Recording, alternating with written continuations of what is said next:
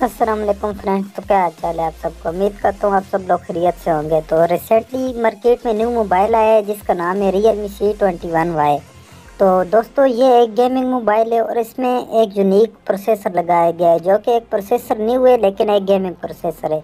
तो दोस्तों, बहुत से लोग ये ले रहे हैं मोबाइल और इसमें फ्री फायर खेलना चाहते हैं।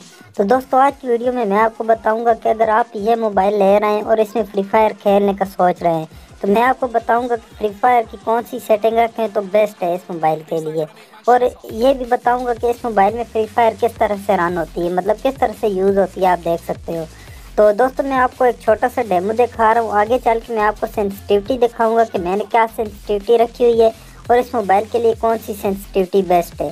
तो दोस्तों, देखते रहिए ये वीडियो तो दोस्तों, हम अपनी लॉबी में आ गए और मैं आपको अपनी सेंसिटिविटी दिखाने वाला हूँ। तो हम सेंसिटिविटी वाले ऑप्शन में आ गए और आप लोग ये देख सकते हैं कि दोस्तों, इसमें आप सेंसिटिविटी सारी हंड्रेड पे रखें तो ठीक।